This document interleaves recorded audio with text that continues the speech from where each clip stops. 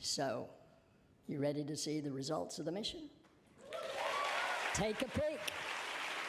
NASA scientists believe this dark powdery dust and these small rock like particles could hold the secret to the origins of life on Earth. Early analysis of the samples scooped up from the asteroid Bennu shows it's rich in carbon, about 5% by weight, and also contains water, two of the essential building blocks for life.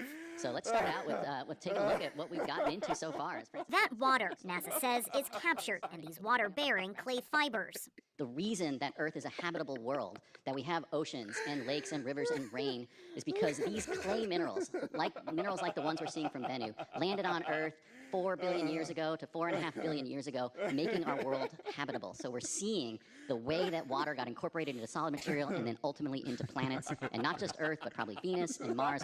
And scientists are just scratching the surface. The asteroid sample has been on Earth for less than three weeks. Touchdown.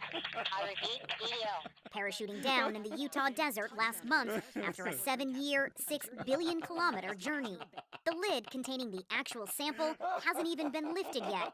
Scientists have instead been studying the bonus dust collected around it. A great problem to have, says astromaterials curator Francis McCubbin. Because we need to very meticulously and carefully collect every grain, it's taking us a little longer to get inside, but the view so far is amazing. What has been collected is being painstakingly analyzed in a special clean room at the Johnson Space Center in Houston, Texas. NASA says at least 70% of it will be stored for future research. Some of the remainder will be broken down into smaller parcels and distributed to more than 200 scientists around the world for analysis. This stuff is an astrobiologist's dream.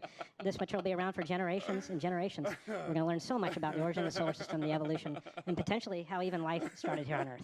And this could be just the beginning. NASA is planning to shoot off another spacecraft as soon as Thursday.